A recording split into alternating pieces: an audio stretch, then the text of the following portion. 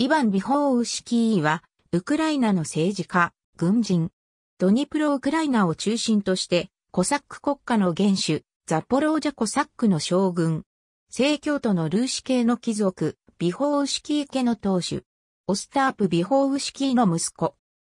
ポーランド・リトアニア共和国キエフ県のオーブルチ地方で生まれた。正教のキエフニーダン学校を卒業後、キエフとルーチクの裁判所で勤め、ルーチクの副大官となった。その後、ポーランド・リトアニアの国軍に入隊し、騎兵隊員まで昇進した。1648年にフメリニツキーの乱が勃発すると、ポーランド・リトアニア軍の一員として、上内棒での戦いに参加した。合戦中にタタールの捕虜となったが、コサックの将軍ボフダン・フメリニツキーによって解放された。その後、コサック側に味方して将軍の書記官となった。1650年に将軍に才覚が認められ、コサック国家の内相、外相にあたるコサック全軍の書記官に抜擢された。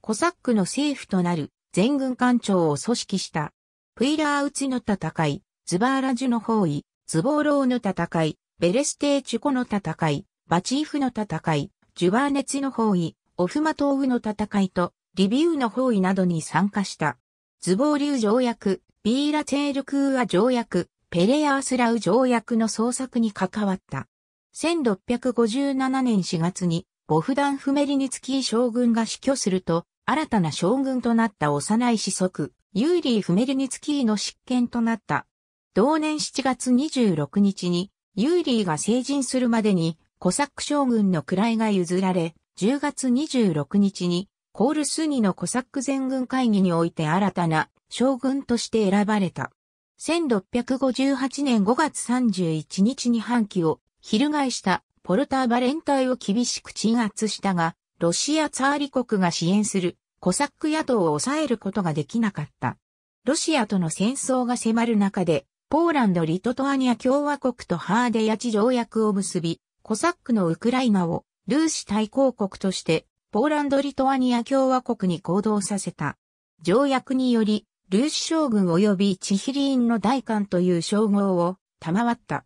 ウクライナ・ロシア戦争の際、クリミア半国と同盟を結び、このトップでロシアの軍勢を破ったが、ハーデヤチ条約により、ポーランド人にウクライナを売国したという不満を持つコサックの支持を失った。1659年9月にユーリー・フメリニツキーに将軍の座を譲り、ポーランド・リトアニア共和国へ移住した。その後、キエフ県知事の位を受け、ボルイニ地方とガリツィア地方で暮らした。1660年にポーランド・リトアニア軍に従軍し、中ドニューの戦いに参加した。